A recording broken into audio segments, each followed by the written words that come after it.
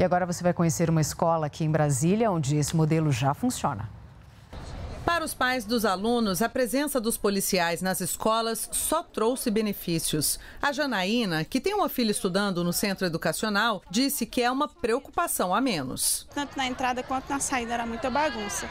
Agora já é mais organizada, as crianças já estão mais tranquilas, então para mim, no meu ponto de vista, ajudou bastante. O Alexandre também tem uma filha de 10 anos na escola. A gente observa no dia a dia nossas crianças, elas estão se desenvolvendo muito, então está educando nossos filhos assim para o dia a dia. Teve mãe que até pensou em tirar a filha da escola com medo da violência.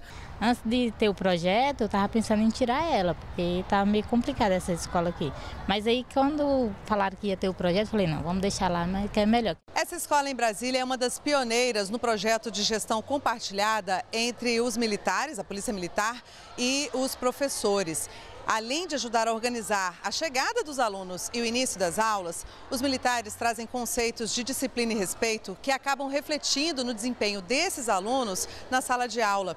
Segundo o governo do Distrito Federal, mais de 80% dos pais aprovam o projeto de gestão compartilhada. Você passa a, a interagir também com os professores, ter mais atenção em sala de aula e os reflexos são em todos os momentos, né? No Distrito Federal, a gestão compartilhada foi implantada no início do ano letivo. Alunos que antes nos causavam determinados problemas pela agitação dele, Hoje eles já conseguem controlar outros alunos menores. O José já virou um exemplo para os colegas. Tem uma função importante. Ele é comandante do batalhão escolar e é responsável pela organização dos alunos. Tinha briga demais, aí Hoje em dia agora não tem briga, os alunos ficam mais dentro de sala de aula, não fica mais fora.